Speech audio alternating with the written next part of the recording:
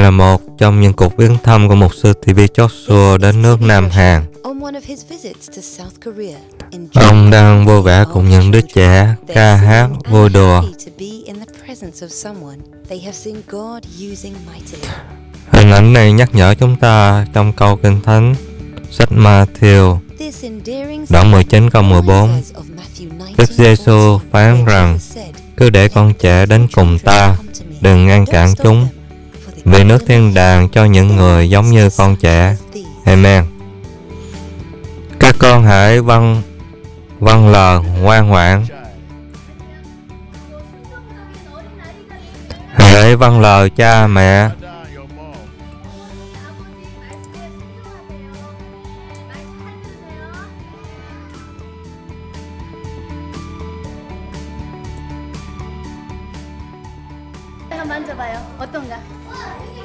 Màu đen à Hãy nhìn xem phản ứng của đứa trẻ. Cậu ấy chà lên da của một sư TB xua.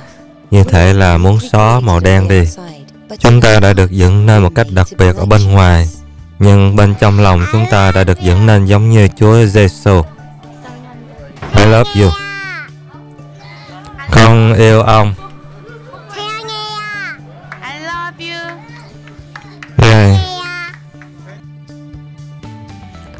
Trong lúc ăn tối, những đứa trẻ cũng không muốn rời khỏi người của Chúa Trời.